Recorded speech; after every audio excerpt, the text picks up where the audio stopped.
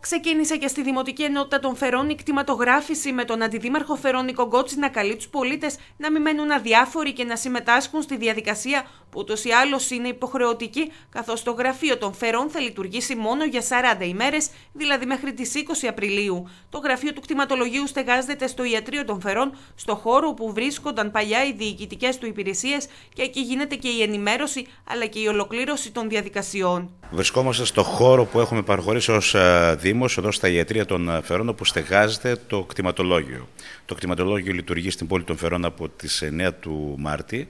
και θα παραμείνει εδώ μέχρι στις 20 Απριλίου. Αυτό σημαίνει ότι θα πρέπει γρήγορα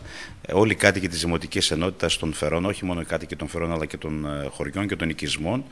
να έρθουν από εδώ, να πάρουν τα στοιχεία που απαιτούνται για να προβούν στη δήλωση των, της ακίνητης περιουσίας τους. Το γραφείο κτηματογράφησης λειτουργεί καθημερινά από τις 8 το πρωί έως τις 4 το απόγευμα, ενώ τις Τετάρτες είναι ανοιχτά από τις 8 το πρωί έως και τις 8 το βράδυ. Σε περίπτωση μη υποβολής δήλωσης στο Εθνικό Κτηματολόγιο προβλέπεται πρόστιμο, ενώ εκπρόθεσμη υποβολή δήλωσης μπορεί να συνεπάγεται με πρόσθετα έξοδα. Απαραίτητα δικαιολογητικά για την υποβολή της δήλωσης είναι συμπληρωμένο το έντυπο της δήλωσης, απλόφωτο αντίγραφο του τίτλου ιδιοκτησίας, απλόφωτο αντίγραφο του πιστοποιητικού μεταγραφής του τίτλου, αντίγραφο τοπογραφικού διαγράμματος που προσαρτάται στον τίτλο ή νεότερο από αυτό ή άλλο στοιχείο εντοπισμού του ακινήτου, αντίγραφο δελτίου ταυτότητας ή διαβατηρίου, αντίγραφο εγγράφου από το οποίο προκύπτει το αφημί του δηλούντος.